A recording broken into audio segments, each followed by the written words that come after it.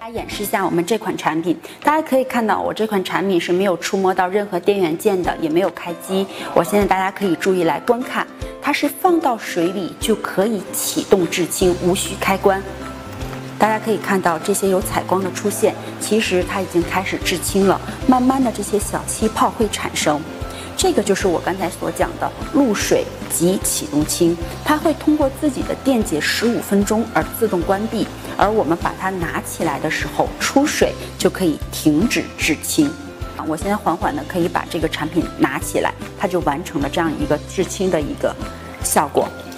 大家可以看到，它离开水面的时候，它的光源就关闭了，它所有的都已经是关掉的了。这就是我们的智能感应系统。大家在用完之后，它是一个七级防水，所以这样的去浸浴也不用去担心会不会有任何的损伤，它可以完成一米式的这样的一个浸泡。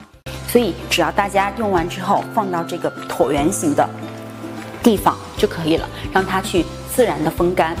然后，如果是大家需要充电的话，我们底部会有一个这样的一个小圆点，对准我们底座的插座，直接对应上完成充电。就可以完成了。